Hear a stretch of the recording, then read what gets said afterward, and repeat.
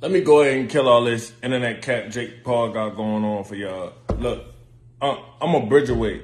Uh, I campaign at Bridgerweight, uh, or otherwise known as heavyweight uh, outside of the WBC.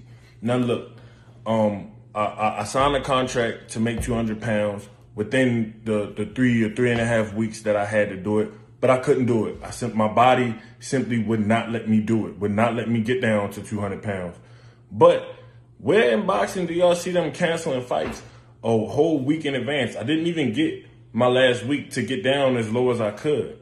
Um, I told this man, it's, it's penalties involved. Keep the purse.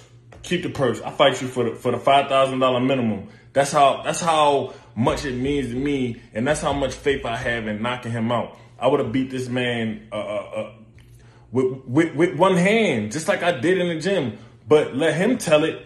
He already beat my ass in the gym when I was 230. So if you beat me up while I was 230, what's the problem in fighting me while I'm 215? What's the problem fighting me at 210?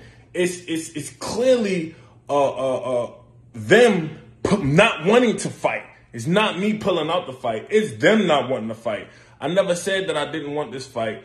And and the only thing that I can conclude is that they scared. I mean, they tried to drain me down. I told them, look, I ain't gonna be able to get all the way down to cruiserweight. I mean, it, it was it was a, a astronomical feat in and of itself from the beginning. From the beginning, when they called me to spar him for, for Anderson Silva, I told them what my weight was. They knew what my weight was, and they knew I was gonna have to lose about a pound a day for 30 days in order to make 200 pounds.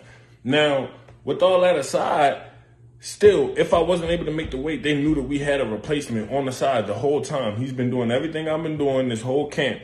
The Muslim boxer, Muslim Kason, who campaigns at cruiserweight, who wouldn't have to have drained himself, who could have saved the show. And Jake Paul could have fought a real boxer, but he don't want to fight a real fighter. He don't want to fight a real fight.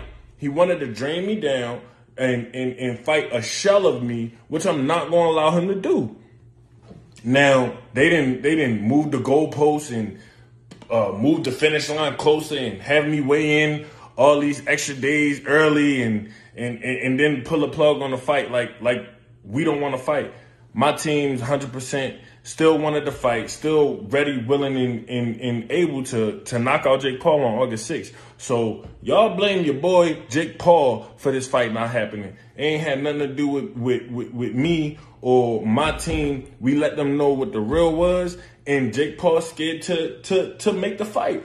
All he got to do is say, okay, I beat you up at 230. I beat you up at 215. I'm still coming down in weight. Or, or I beat you up at 210. I'm still I'm still coming down in weight. But he don't want to do it because he don't want a real competitive fight. He wanted me to be a, a, a shell of myself when we got in there and got in that ring.